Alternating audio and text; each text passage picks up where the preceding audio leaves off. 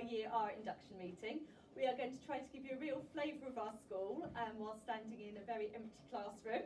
Um, so hopefully this will answer all of your questions, but obviously if you do want to get in contact with us, you can use our Year R email address or contact the school office and we will get back to you as soon as we can. So I am joined today by Mrs Clarke, who is our early years lead, and Mrs Brownlie, who is not only an early years teacher but also our SENCO. And they'll be talking through with you this afternoon all of the information hopefully that you will need. And unfortunately, when we do this in the hall, I normally spend a lot of time interjecting and interrupting. And I'm going to try to do that this afternoon while socially distancing. So hopefully it's all going to run smoothly. But as I say, any questions, get back to us. Okay, I will pass you over to Mrs Clarke. Thank you, Mrs Ball. Would you like to slide on for me, please, Mrs Brownlie? Okay.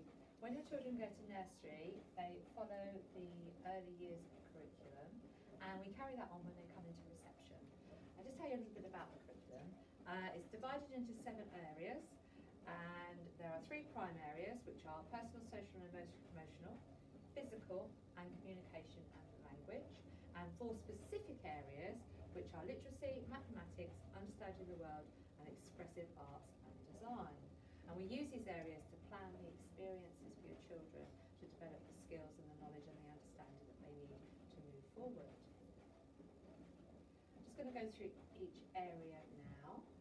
So personal, social and emotional. This is all about making relationships, working and playing together, um, their self-confidence and self-awareness, and being independent. We, there's a lot of independence in encourage them to be as independent as we possibly can. Uh, it's all about managing their feelings and behaviour and taking responsibilities for their actions, being aware of the rules and why we have rules and putting the rules into action. Thank you. Brownlie. Next is physical development. Uh, there are two sections in this area, moving and handling and develop, which is developing fine and gross motor skills, so all those things that help your children uh, learn to write, uh, health and self-care, which is understanding why we need to take care of ourselves and our health and how we can do it. Communication and language. Um, there's lots of, this is divided into listening and attention. We do lots and lots of encouraging of listening carefully. It's one thing that some children have difficulty doing and paying attention. Uh, understanding, uh, speaking, broadening their vocabulary, getting them to talk to each other, to contribute ideas, uh, to problem solve and all that kind of thing. Uh, early writing, lots, we do lots and lots of practice for early writing. We make patterns, we use chalk, we use water, uh, we use brushes dipped in water, um, sludge, all sorts of things to form letters and to practice patterns. Um, they use sand, crayons, water, as I say, chalks, swords and ribbons in the air. Okay. And we teach fully cursive writing from the start, but you will get um, a little uh, piece of paper which, which will explain and show you how we form our letters in your pack in September. Thank you. Early maths is the next one. And early maths, lots of experience of number, practicing counting, recognising numbers, counting with one-to-one -one correspondence, and we use something called Numicon in school, which is actually a resource that you could have at home. Um, I don't get commission from Amazon, but they do sell it on Amazon, but there are other places as well. If you could just press on to the next slide, I think there should be a slide of the Numicon. It comes, there's a couple of different packs and you get different things in the packs, but uh, this is basic, oh, whoops, technical hitch there, sorry. So this, don't touch the board. This is, um, as I say, what we use in school. Each digit, each number is represented by a colour and a shape. And the children could do all, they could do addition, they could do subtraction, they could just do number recognition, and we use it throughout the school, so it will last them for a good three years uh, as a real investment. Thank you, Mrs. Brownlie. Okay, phonics. We teach phonics every day. We start with phase one, following the letters and sounds programme. Uh, phase one is all about um, rhyming and alliteration, and then we move on to teach a different letter every day. And we teach the name of the letter, like A, and we teach the sound, A. And there will be opportunities for parents to come into school and to work alongside their children in September and see how we teach phonics. It is a different language. Your children will come home making all sorts of funny actions and doing making all sorts of funny noises, um, but it will be a little bit more self-explanatory start school. Okay. So moving on, uh, these are some of the websites that we use in school. We have Phonics Play. There are lots of games and things on there. You do you can subscribe to that, but there are also some free games on there. Letters and Sounds, which is uh, what we follow to teach our phonics. Mr Thorne does phonics. The children really enjoy this one um, with Geraldine Giraffe. She goes off every day and finds different things um, represented represented by the letter we've been learning. And lastly, the Mill Rythe website. Our lovely uh, assistant head teacher, Mrs Ty, has put on there um, a little video about how to pronounce the letters correctly, the sounds correctly. Um, so if you need to know that, then the reference that's there for you. Okay, lunch times. Uh, we all have lunch in the hall. The reception children do go in 10 minutes before the rest of the school because it does get rather noisy and we find that's the thing that the reception children have a little bit of a problem with. They can choose uh, to either bring a, a lunch from home, a packed lunch from home, or they can choose um, a hot meal, which would be either a red meal, which is usually meat, or a green meal, which is vegetarian, um, or they can choose a school pack up, which varies from day to day as a different choice. They, they choose each day. They don't have to choose at the beginning of the week. They can choose each day, and they don't have to have the same type of um, food each day. They don't have to have a school pack up every day or a hot meal every day. They can alternate. They can change depending on whether it's something that they really enjoy or not.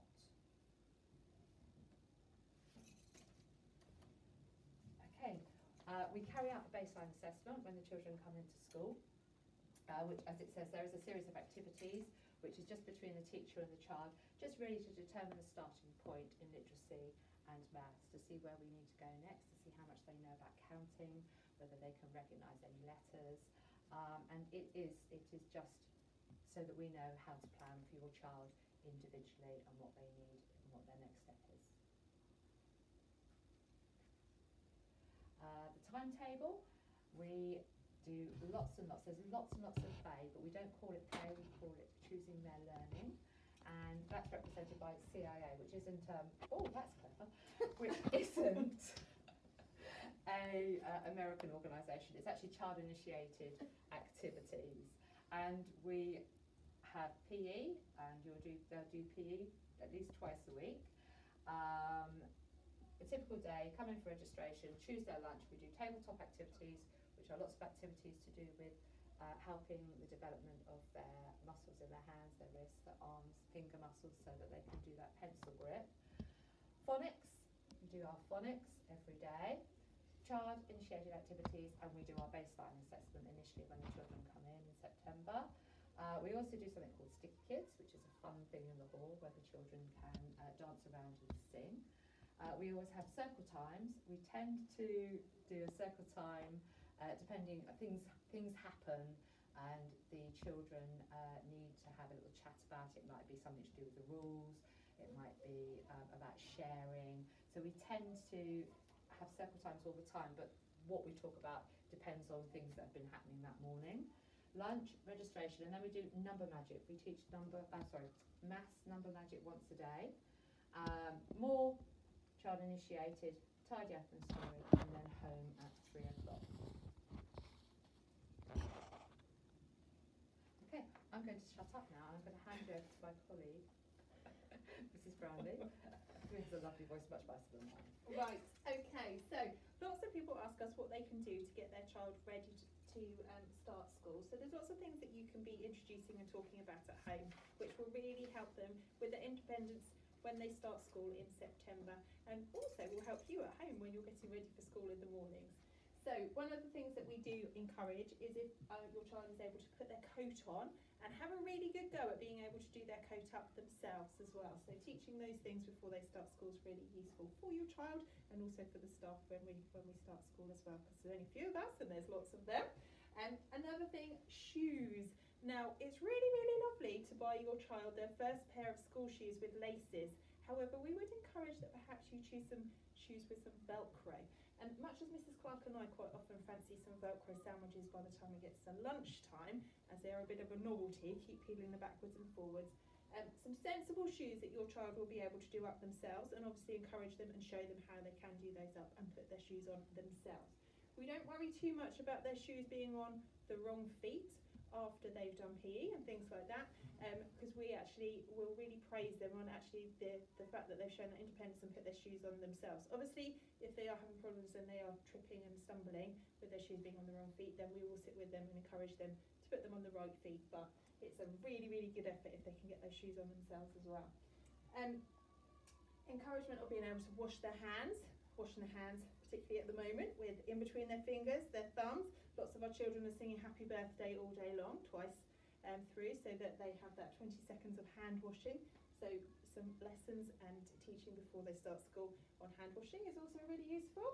Um, being able to put on a pair of welly boots as well. We do go out in all weathers, so a pair of welly boots in school and welly boots that they can put on is a bit of an essential in year R. And being able to use the toilet as well, encouraging a child to obviously use the toilet themselves, flush the toilet, and then the process of washing their hands afterwards as well. Great independent skills that you can help your child before they start school with. Um, and one of the main things that Mrs. Clarke has already mentioned is use of their listening ears. So encouraging your child to listen when you're speaking to them always get their attention by perhaps using their name before you start talking to them. And then they know that's their cue. Oh, I need to start doing something. I need to start listening. I think Mrs. Ford has got something she wants to say. sidling in.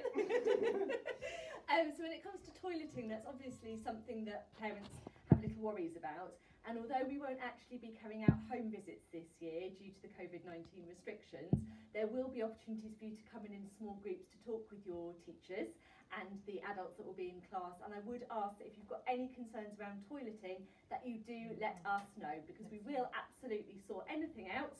Um, but we'd rather know in advance because we don't want any children being distressed or being worried about using the toilet if we can help it. Okay, so in addition to things that um, you can help with at home to support your child when they start school, there is also a long list of things that we need you to bring into school every day once they start school in September. So, a coat. As I mentioned before, we do go outside in all weather. So, if it's looking a little bit grey and gloomy, we would always suggest that your child has a suitable coat in school. Um, we would also, throughout the winter, encourage the use of a hat, a scarf, and gloves. Um, in class, we have a hat box, and children will always put all of their hats, scarves, and gloves in one box so they're all in one place and we'll help them distribute those at the end of the day to make sure that they come home to you as well. But really useful in those cold and blustery days. Um, in the summer, the opposite of the winter, obviously, uh, when the sun is out, we do ask that all parents, uh, carers at home, can apply sunscreen before their child comes into school. We're not able to apply sunscreen ourselves in school, so it's really important that they start their, their day off wearing it already. Um, a hat in the summer as well, really important to keep their heads covered um, whilst they're out in the playground with that hot sun that we sometimes get on a sunny Hayling. Um, we also need children to bring in their water bottle every day. There are occasions where children leave their water bottles behind and we will of course always fill that up with fresh water in the morning but best practice is that it comes home with them every day, gets washed and then comes back into school the next day, it's ready to start a new day. Um, each child will be given a new book bag when they start with us. And in their book bag, we will give them um, a home reading book once they start and they're settled. And they'll also have a yellow reading diary, which they'll come home with every day. Mrs. Clarke will probably talk about those a little bit later. Yes. Or would you like me to talk about them now? We'll talk about them now. I'll about Could now. we just say about the uh, could we just say about the reading books? Yes. Because of course the children will come home with a book that has no words in it initially, Initially, and so- some parents think that's a bit strange. But it's not strange at all because actually what it's doing is supporting your child's reading skills. They're going to be using the pictures, it's encouraging their vocabulary as well, their use of language, and they will have their book, which we call a lilac reading book. The lilac reading book has no words whatsoever, it is pictures. So we encourage you to ask questions about what you can see in the picture. We encourage the children to tell their own stories using the pictures that they can see. Or maybe it's a fact book and they might create some as well and tell you lots of lovely information. You'll be really surprised. Um, okay, so they'll have their book, their home reading book that they'll bring home. Their yellow reading diary is for you to record each time they read at home. And within that book, we would ask you just to jot down the date. We'll also ask you to jot the title of the book, and then you can just sign it, or if you want to add some comments in there, then please feel free to do so. Every child is encouraged to read every day, and every child is encouraged to work towards earning their their uh, reading badges. So every time they read 25 times, and it is just one read per day, not 500 books in one day, just one read per day that counts towards their reading badge. But every 25 times they read, they'll get to come and see Mrs. Ford, um, and she will give them a nice sparkly badge. And the children really, really do enjoy going and collecting their reading badges. And there's loads to collect, all different sorts of colours. There are loads and loads, isn't? It's about 300 ways you can read. I don't think it's actually possible to do 300 reads in the year, but we have got the badges ready, so all good. Okay, I'll go this way now. So, um, so yeah, so they'll have their book bag, and we will give them the book bags. Usually they're done at the home bits. So what, what It will be when they, they come into school. When they come into school, so they'll get that their badge. first week. Yeah. Um, so that is all we we require them to bring in in terms of bags, and we do encourage that it is a book bag, not a rucksack. We have quite limited space in our cloakroom area, so if every child's bringing in a big backpack, then that space gets cramped up quite a lot. So it's just their book bag, and we have a special book bag box that they'll put their book bags in once they start school in the morning. Uh, I think it's just these two. anything else? I think it's PE kit. Right, so PE kit needs to come in. So their PE kit comes in at the beginning of each half term. By all means, if you want to give it a wash in between, that's fine. Just ask one of the um, adults at the door if they can. You can just bring it in, but it must come back in so that the children can get changed, ready for their PE day. Um, and also their Jumper. school uniform jumper. So we do expect that the children are wearing their school jumpers um, each day. Obviously, during the day, if it's warm, they are able to take them off, and we have jumper boxes and cardigan boxes to make it easier for the children to find at the at the end of the day. Can I just add, please, please, please, please, please. Names. Is that enough pleases? Sorry. Name Another one. um, when your children first come into school, they do have difficulty keeping their own things to themselves. And when we change for PE, uh, it's about 20 minutes to change and about two minutes in the hall, and then we're back to changing again. And they do tend to share their clothes with everybody else. They end up all over the place. So if your child's clothes have their name in and their PE kit has their name, it makes life so much easier. Um, right down to socks, please, uh, and shoes. Please make sure that they do have your child's name in. And sometimes uh, people use a pen to write their names. That's fine, but please check after the item's been washed that it's actually still got the pen name in it because they do tend to disappear. And when you've got 20, 25 jumpers that are all the same uh, and they're all the same size as well, it's really, really hard work trying to find that child's jumper or cardigan. It can be quite nice as, as another way to support your child before starting school is to go through their labels, their clothes labels, and just highlight something that's on there. Some of the, s- the um, sew-in labels and the iron-in labels have little pictures on, so sometimes it encourages the child to recognise it by the picture. But by all means, it's not essential that you have to have pictures on your labels. Um, recognising their initials, the first letter of their names, and things like that in the early days is really useful and helpful for them too as well. Okay, I think that's it. Thank you. Next one. I think it is. It's It's me. your turn. Shall I swap, swap with you? Yes, that's fine. I'll come out and shop. That's fine. I'll sit for a this minute. So this is this is definitely the part of the meeting that I would hope there'd be people stood in front of me because it's a lot of setting some rules and it can come across as a little bit tough. But I'm going to go through some policies. All the policies are available on the website and you can request paper copies if you so wish. So let us start with behaviour policy. So we run the behaviour policy the whole way through school. We expect all the children to abide by the rules. It doesn't matter which member of staff is talking to them, the expectations are exactly the same. So we have a pirate ship in each of our classes, and the children start the day on that pirate ship. For exemplary behaviour, they can pop on up to the crow's nest, which is really, really awesome. But then there are some warning systems in place to help the children to modify their behaviour. So if they are needed to be reminded about a choice that they are making, then uh, they might be reminded once or twice. And then when the adult is absolutely sure that the child knows that what they're doing is something they shouldn't be doing, they'll be given a, a formal warning. Okay? If that behaviour then carries on, then the child will then be asked to have five minutes out, which is obviously in the corner of the classroom or in a place where they're not interacting with their children, their, their friends, as it were. Um, if behaviour carries on, they would come out of their class and move into partner class for the rest of the session.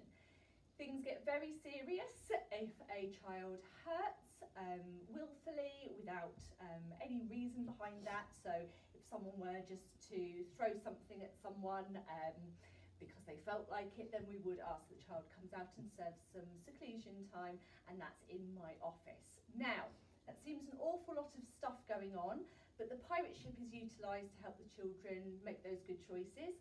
So every time they need to be warned about their behaviour, they actually move their name on the pirate ship.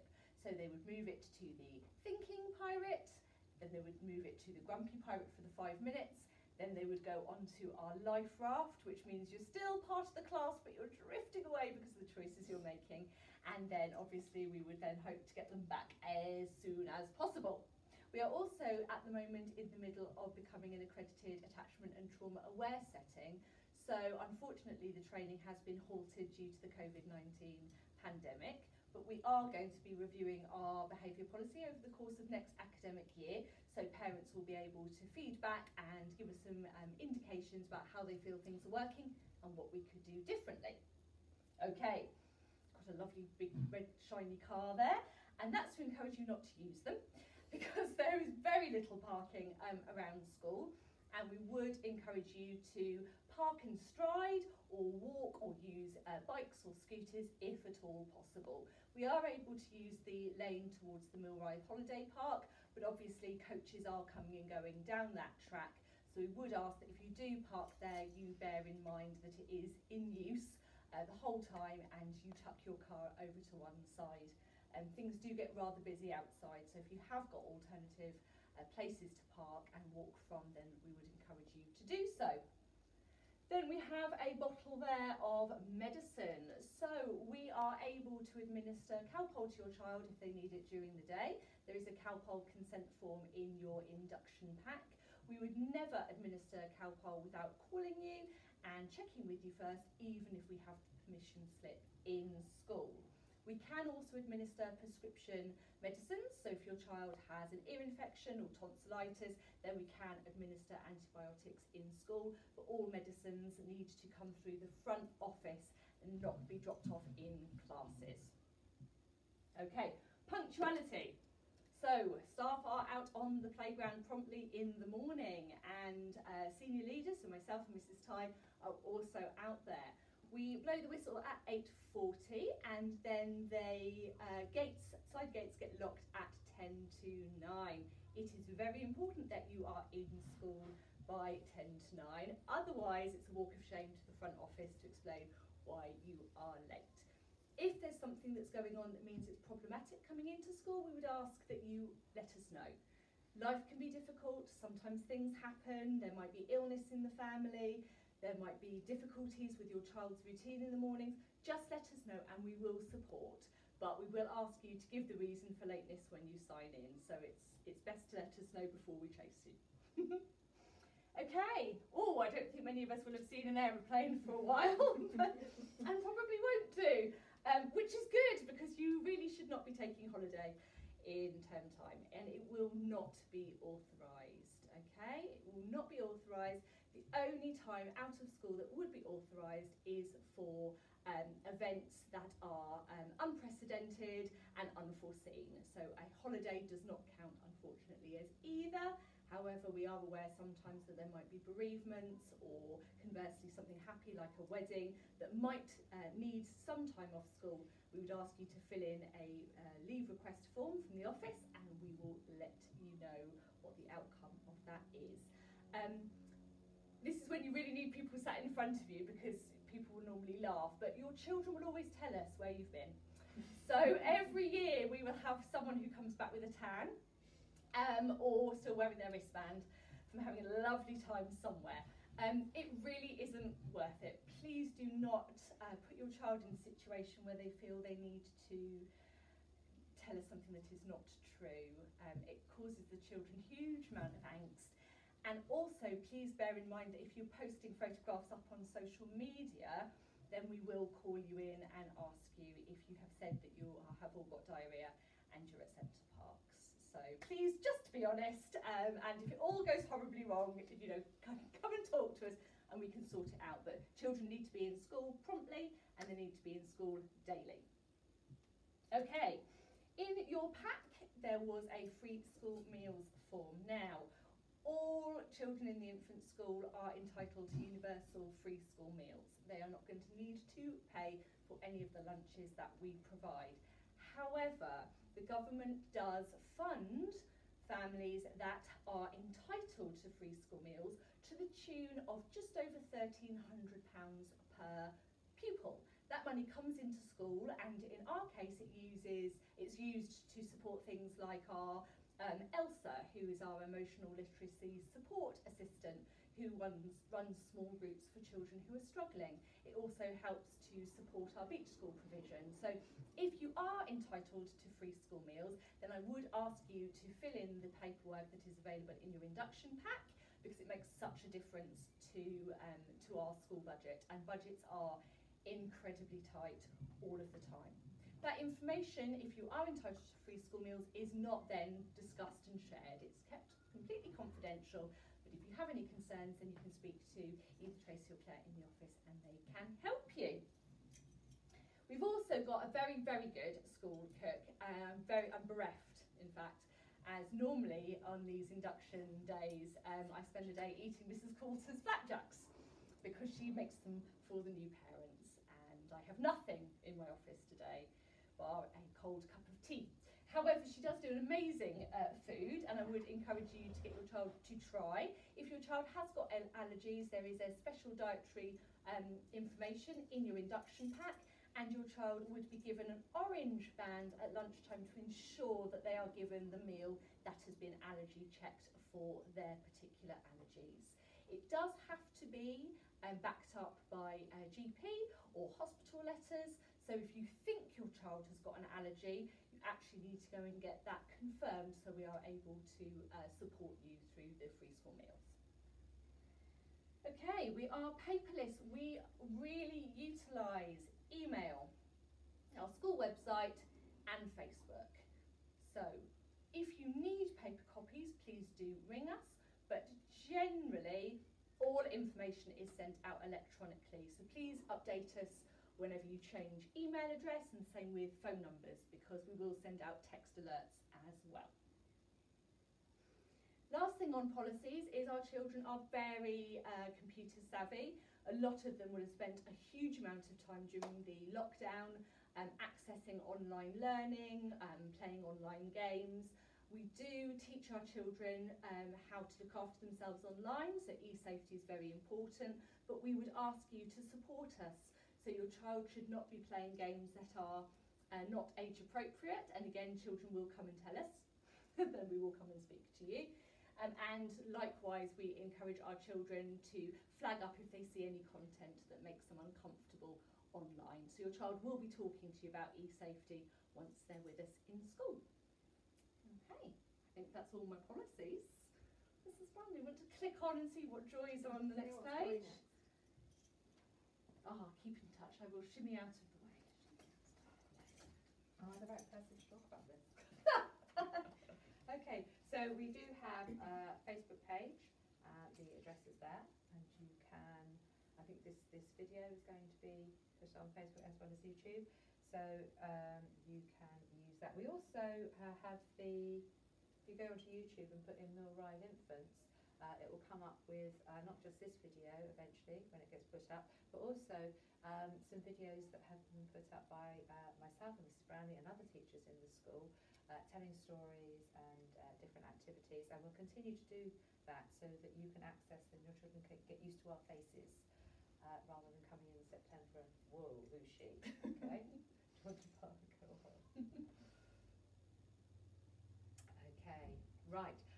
We do ask, one of the, the nice things we do is we do an all about me shoebox and uh, the teachers do one as well. And we ask over the holidays, the summer holidays and perhaps even starting now, uh, that you get your child to decorate a box, it doesn't to be a shoebox but a small box and they can decorate it, they can paint it, they can cover it, do whatever they want with it, they can put their name on it. Um, and inside to just place some things that tell other people about your child. So it could be um, some postcards, perhaps if uh, they went away last year on holiday, or they've had people send them postcards and they'd like to share those. It could be a toy that they really like, but please don't put in any favourite toys because the boxes will be in school for quite a while and we don't want anybody not being able to sleep because they haven't got their favourite cuddly. Um, it could be pictures of their family, uh, brothers and sisters. It could be pictures of their pets. Not not the pets. No, Not the no, pets, no, not not the actual Even though we'd love it. Um, Photographs. yeah, just photographs of the pets. So yes, things that they can, uh, as I say, they can share with the other children. It's a really nice way of breaking the ice, sharing the boxes with the other adults and with the other children, and getting to know those children uh, really well through through their items in their box. Um, okay, so visits this year, as I say, is slightly different because usually we do home visits, but as uh, all of this has been going on, we've had to change what we do just slightly.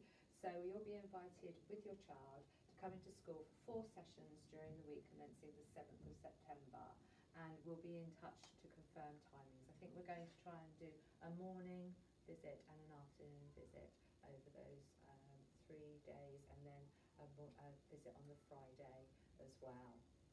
Thank you. Okay, so starting school dates. Autumn children, and I put the uh, the dates in so you will know what we mean because we use those terms an awful lot in reception. Autumn, spring, and summer children. By the time the children get to year two, you wouldn't know who was spring, summer, or autumn, but we do actually use it a lot in reception. So autumn children, the first of September to the thirty first of December, they're going to be coming in on Monday, the fourteenth and fifteenth of September, and they're going to be coming in from eight forty and staying till lunch. Oh, sorry, after lunch, so one o'clock and they're also going to be then coming in on the Wednesday, but they're going to stay all day. They will be full time from Wednesday the 16th of September. So that's uh, 8.40 in the morning till 3 o'clock in the afternoon. Spring children, they are going to be coming in on Wednesday the 16th and Thursday the 17th of September from 8 till 1, which includes lunch. And then they will be full time from, that should be, wrong. It should Oh, be the best Friday, yeah. That should be Friday the 18th of September. okay? So I will change that, but that should be Friday the 18th of September. So two days in, part time. Yeah, it took me a moment though.